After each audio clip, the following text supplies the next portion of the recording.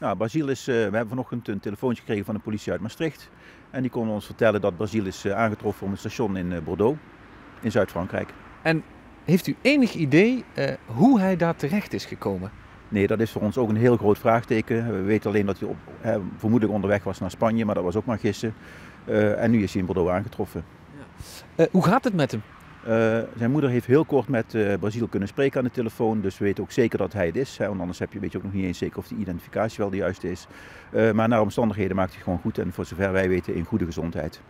Hoe is het met zijn ouders en de familie? zeer opgelucht, zeer blij. Iedereen, je ziet de ontlading nog vanaf komen en natuurlijk ook heel emotioneel. Maar iedereen is wel heel blij dat hij weer terecht is. Kunt u eens beschrijven hoe de afgelopen week geweest is voor de familie?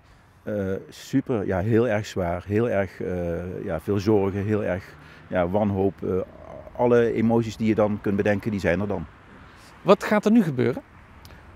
de jongen wordt nu opgehaald door zijn vader en, en, en, en, en, en, familie. En we, we gaan eerst zorgen dat hij weer thuis komt en zodra hij thuis is moeten we verder kijken. Er leven ontzettend veel vragen. Uh, uh, niet alleen bij de familie, maar ook bij ons. Want hè, bij zo'n spreken heel Limburg heeft meegeleefd met... ja, waar zou Basiel zijn? Wat bezielt een jongen van 14 jaar om zomaar ineens te benen te nemen... zonder zijn ouders in te lichten? Um, kunt u een antwoord geven op al die vragen die uh, leven? Nee, dat zijn ook de vragen die bij ons natuurlijk al de hele week hebben geleefd. Hè, wat bezielt zo'n jongen? Uh, tegelijkertijd hebben we die natuurlijk ook helemaal naar de achtergrond verplaatst, want hè, de zoektocht was het allerbelangrijkste. Uh, maar we weten echt niet wat hem bezielt, want er was geen, geen enkele reden om aan te nemen waarom hij dit zou doen.